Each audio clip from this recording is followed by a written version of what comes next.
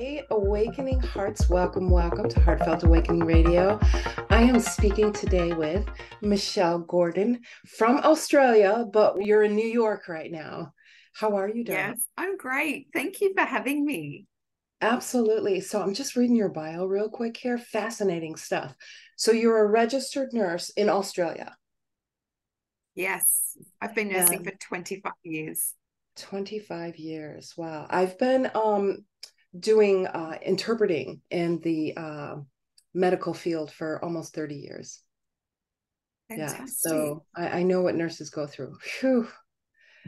Um, respect. Oh, yes, you'd know all about it. Hey.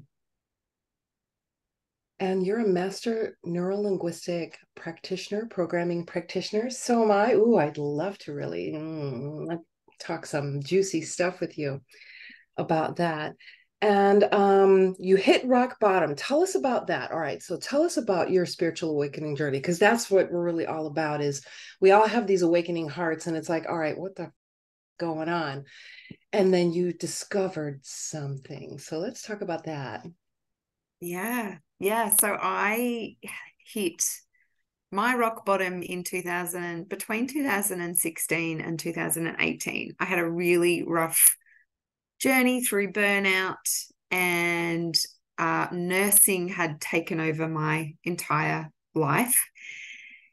And I have three, I had three small children at the time and a beautiful husband. And I I was relying on alcohol every night to to get through. I was anxious.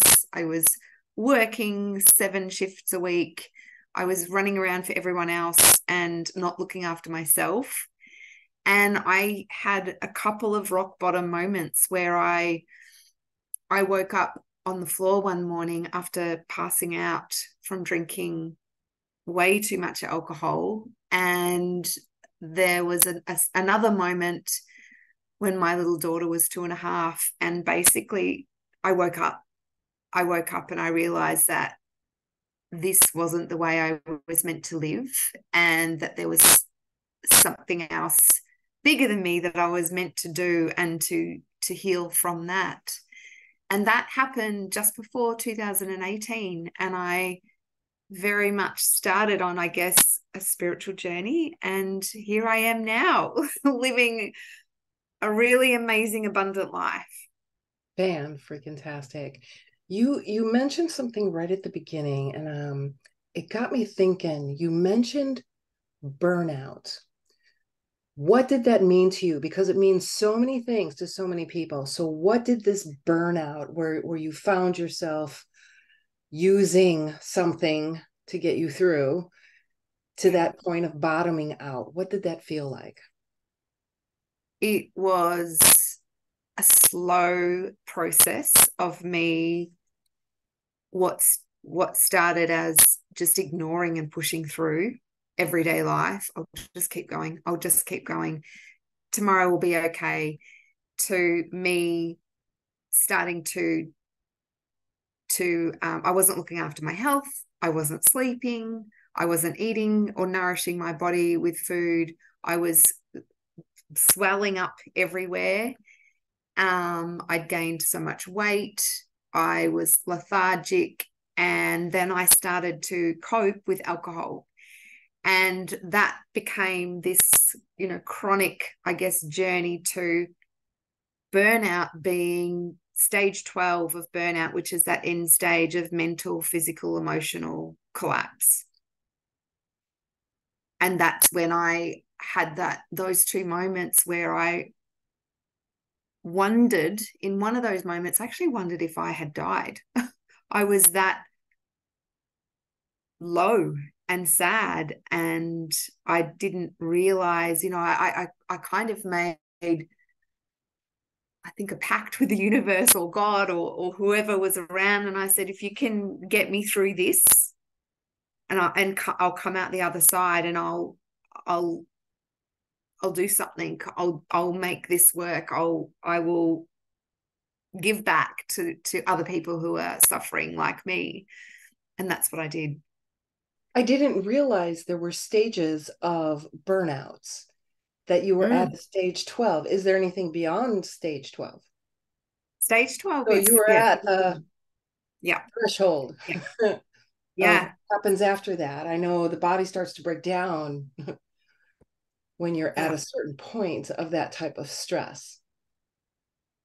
Yeah, absolutely. And stage so stage one is the pushing through part and just getting by. And then it goes right through to taking on other people's values, forgetting your own values and forgetting your own life priorities, to um, ignoring your your health, um, disconnecting from the things that used to bring you joy, right through to um, irritability, frustration, anger, and then coping with substances. So alcohol was was that for me. And then 12 being that mental physical emotional collapse. Wow. Yeah. and um for the awakening hearts listening let us know in the comments where you feel you are on this stage on these stages of burnout you know one just you're just showing up you know it's like all right i'm here and everything gets kind of swept under the rug two 12 being like right on that edge of you know maybe checking out i don't know what your plans were at that point but i mean yeah. you were unconsciously checking out for sure and yeah, what was... you mentioned i wasn't meant to live this tell us more about that i i guess from a child, from from a young girl, knew that the the world was a really magical place. I was manifesting. I had this really great connection with the universe, and I could, I guess, what I now know as manifesting. That's what I would do as a young girl, and somewhere along my journey, I got lost, and I got I got into really pushing and controlling and working really hard and and I had children and then I had to you know continue working but there was something inside of me saying this isn't it. Like Michelle this is not your journey. There's let go. And let go start to trust stop pushing and forcing and start to surrender and receive. And I hadn't done that. I hadn't connected with that message since I was that young girl. And this, I guess, burnout journey made me do that. I had to do that. There was no other option for me to to keep going because I I really did hit that that end stage of of burnout yeah. You mentioned something so important that so many of us mm, might be just lacking the skill of doing and that's surrender and receive. What got you to the point of all right i give up. Universe just i accept whatever consequences. What got you to that point? I had nothing left to give. I had no other choice my thoughts were at that last stage. I, I'm a mum of three children. I have a beautiful husband. I am either going to check out, and you know, this might be triggering for some people, but that was my thought. Do I just not do life anymore? Or do I surrender and give up all that I had done for the last, you know, 30 years or 20 something years and start to learn a new way of of living and a new way of being in touch with myself and and and the world. And that's what i did. I just i let go and i started to look for signs around me to guide me. And i started to see some signs and connected with with those to just guide and guide me through this journey and take me to the life that I'm meant to live. And that life you are meant to live, it looks like what you're doing and what you're passionate about is helping women to overcome burnout and help them create the life they love. What does that look like? Yeah, so I now have a, you know a real gift with what my journey gave me burnout and and hitting that place of alcoholism and and my rock bottom to be able to connect with other women who are who are in that same stage of their life. And since my um, journey i've gone on to become a coach and i've done all sorts of different modalities of healing and and therapies. And and now my my gift is to really connect with those women and help them to come out the other side like me and start to trust themselves start to surrender start to receive manifest and all of those beautiful things. So um one of your topics for discussion is people pleasing and how us not surrendering and receiving is pretty much giving that power away when we people please. Is that something that, um, you know, as we work through, I'm a recovering people pleaser. yeah. Sure. Second oldest of eight kids, you know, it's like always people pleasing. So, um, can you talk more about that?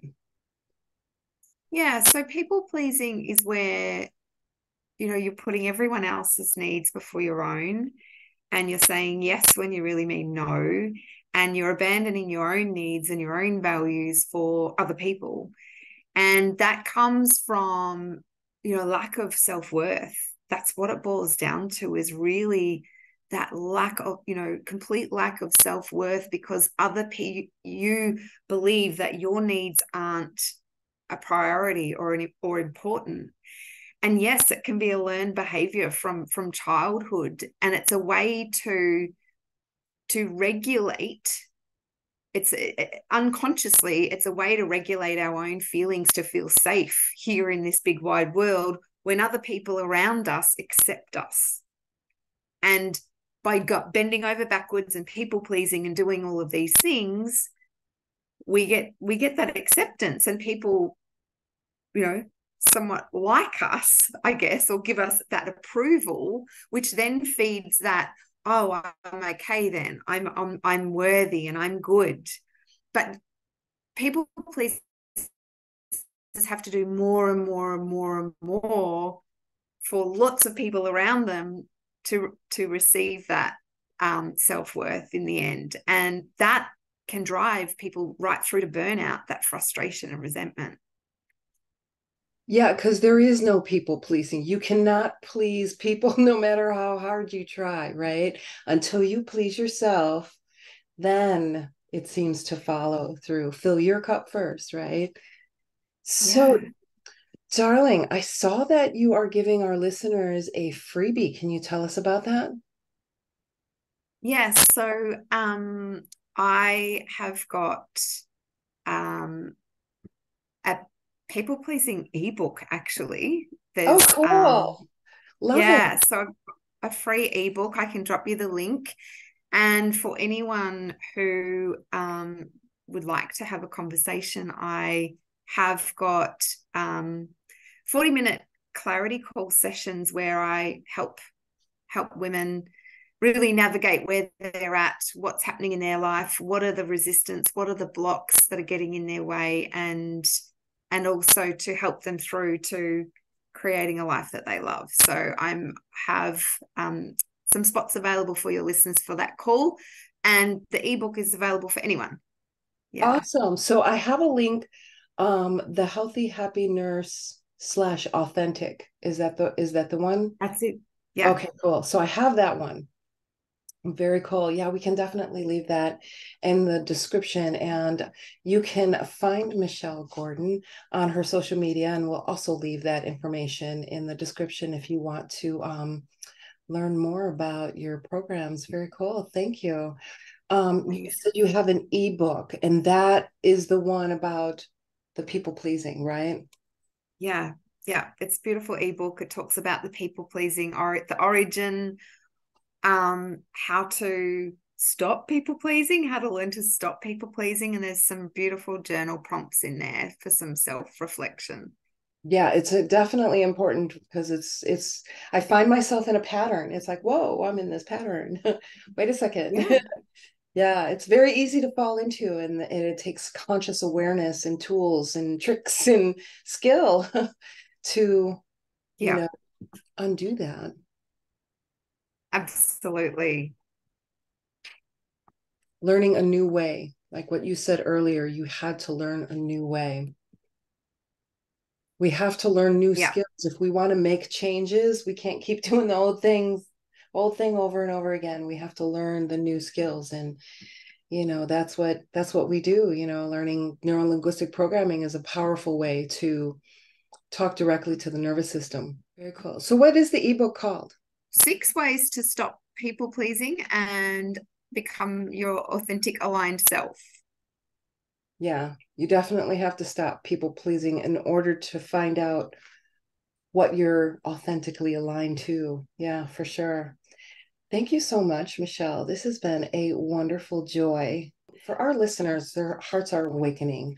Would you have any um, ending words for them? Mm, well, that's a good one. Okay. Ending words is learn to trust yourself and learning to love yourself is really the key to unlocking abundance.